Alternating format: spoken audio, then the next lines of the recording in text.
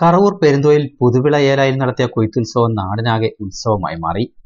നെൽവേലുകൾ അന്യമാകുന്ന ഇന്നത്തെ സാഹചര്യത്തിൽ സംസ്ഥാന സർക്കാർ നടപ്പിലാക്കുന്ന ഹരിത കേരള മിഷന്റെ ഭാഗമായാണ് തരിച്ചു കിടന്ന പുതുവിള ഏല കൃഷിയോഗ്യമാക്കിയത്.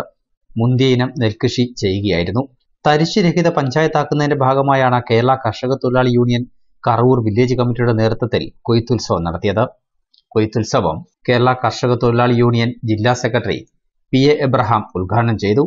കേരള സ്റ്റേറ്റ് കർഷക തൊഴിലാളി യൂണിയന്റെ നേതൃത്വത്തിൽ ഈ കേരളത്തിൽ തരിശു ഭൂമിയിൽ കൃഷി ചെയ്യുന്നതിന് വേണ്ട പ്രവർത്തനങ്ങൾ കേരളത്തിൽ നടത്തിക്കൊണ്ടിരിക്കുക. ഈ കഴിഞ്ഞ അഞ്ച് വർഷക്കാലമായി കേരളത്തിൽ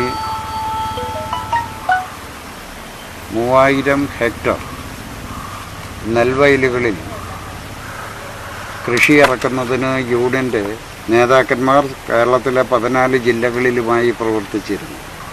ഏതാണ്ട് പതിനായിരം ഏക്കർ കരഭൂമി തരിശു കിടന്ന ഭൂമിയിൽ വിവിധ ഇനം കൃഷികൾ ഇറക്കി തരിശു ഭൂമിയെ കൃഷിഭൂമിയാക്കി മാറ്റുകയുണ്ടായി. കേരള സ്റ്റേറ്റ് കർഷക തൊഴിലാളി യൂണിയൻ ഒരു പതിറ്റാണ്ടിന് മുമ്പ് ഉയർത്തിയ മുദ്രാവാക്യമാണ്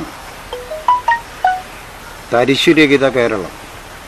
അങ്ങനെ ഒരു ആശയം ഉയർത്താനുണ്ടായ സാഹചര്യം. നമ്മുടെ കേരളീയ മറ്റ് ഇതര സംസ്ഥാനങ്ങളെ ആശ്രയിച്ച് ജീവിച്ചു പോകുന്ന അവസ്ഥ നമ്മുടെ കേരളത്തിൽ നിലനിൽക്കുകയാണ്. നമ്മുടെ സംസ്ഥാനം ഒരു കൺസ്യൂമർ സംസ്ഥാനമായി നിലനിൽക്കുകയാണ്. എല്ലാറ്റിനും മറ്റ് സംസ്ഥാനക്കാരെ ആശ്രയിച്ച് ജീവിക്കേണ്ടതുണ്ട്. കേരളീയൻ ഏറ്റവും കൂടുതൽ ഉപയോഗിക്കുന്ന ഭക്ഷ്യ സാധനം അരിയാണ്. കേരളീയൻ ഒരു വർഷത്തേക്ക് ആവശ്യമായ നെല്ലിവിടെ ഉൽപ്പാദിപ്പിച്ച് അത് അരിയാക്കി മാറ്റി. K S K T U village president N Naseema അധ്യക്ഷത വഹിച്ച ചടങ്ങിൽ K S K T U village secretary M D Raju സ്വാഗതം ആശംസിച്ചു. ഏരിയ സെക്രട്ടറി ആർ ശ്രീനിവാസൻ ജില്ലാ joint secretary M A Muhammad Karavoor local committee secretary K Madhu മുൻ ഗ്രാമപഞ്ചായത്ത് അംഗം രഞ്ജിത്ത് തുടങ്ങി നിരവധി പേർ സന്നിഹിതരായിരുന്നു. News bureau Pathanapuram.